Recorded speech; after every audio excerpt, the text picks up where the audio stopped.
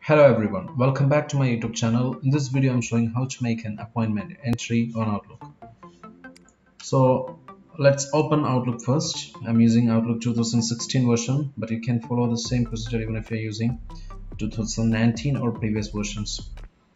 So let's um, uh, create a test appointment. So you can do it in different ways. The first option simplest way is under the home tab you have new items. Click on new items and here you have appointment option. Click on appointment.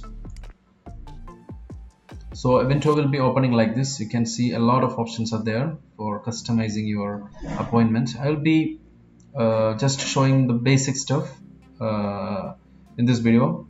In the next video I'll be showing this in the detail.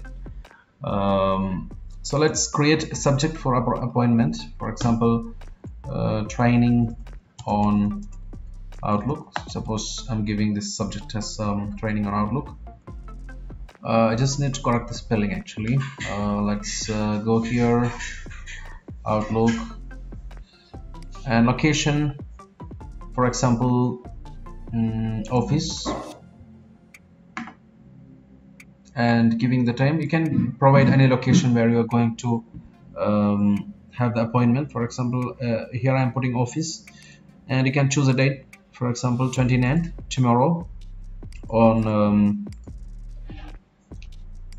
for example the timing we can choose it 10 o'clock to 10:30 and if, if it's an all day event just click on this one. So it will be selecting the complete day so this is a half an hour event i'm creating a half an hour appointment i'm creating. So just uh, clicking on that one. And, and so if you have any notes for um, that specific appointment you can add it over here.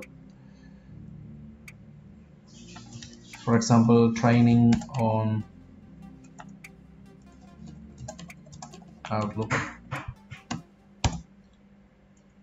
will be conducted at office Dubai office. After you have done you can just save it and close. So I'm not going into the advanced um, appointment section but I will be showing in detail in the coming videos. So here when you check on the calendar you can see here there is an already an appointment here at 10 o'clock from 10 o'clock to 10:30 uh, training on Outlook at office so i believe this video was helpful to you guys. I really thank you for watching. Subscribe the channel. Click the bell icon for notification. Take care. Goodbye